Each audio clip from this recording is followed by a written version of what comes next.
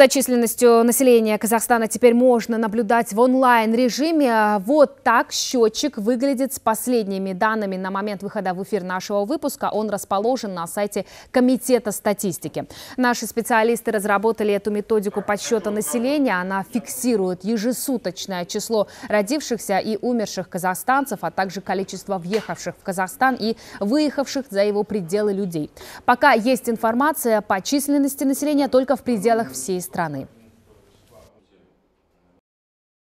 Отличие э, нашего счетчика от, э, от других аналогов, мы э, берем изменения ежемесячные, а у них по годовому. Наш счетчик с учетом последних изменений, демографическая ситуация как поменялась на последнюю, она все учитывает.